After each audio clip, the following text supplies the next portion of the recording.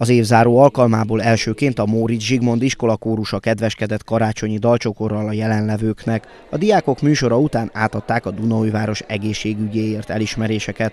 A közgyűlés elején Cserna Gábor polgármester beszámolt az elmúlt hónapban végzett tárgyalásokról, jelentősebb eseményekről. Szó volt arról, hogy a kormánytól 742 millió forint kiegészítő támogatást nyert a kiírás alapján, továbbá 600 millió forintot a stadion építésére. Ezen kívül még 300 millió forintot adott adott a minisztérium szabad felhasználásra.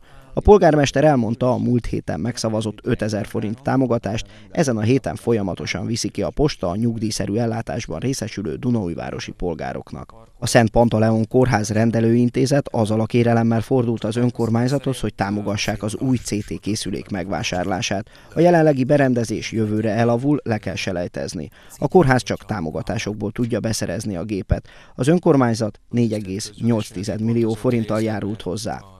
Juhász István, az egyik számítástechnikai üzlet ügyvezetője felajánlott az önkormányzat részére három darab számítógépet a közbiztonság javítása érdekében. A gépeket a Dunaújvárosi rendőrkapitányságra viszik. A hátrányos helyzetben élőket segítő védőháló a Dunaújvárosi díjhátralékosokért alapítványnak mintegy 10,4 millió forint támogatást ítéltek meg. Immár hivatalosan kifejezte csatlakozási szándékát az önkormányzat a Kárász Robert producer által vezetett ezer lámpás éjszakája rendezvényhez.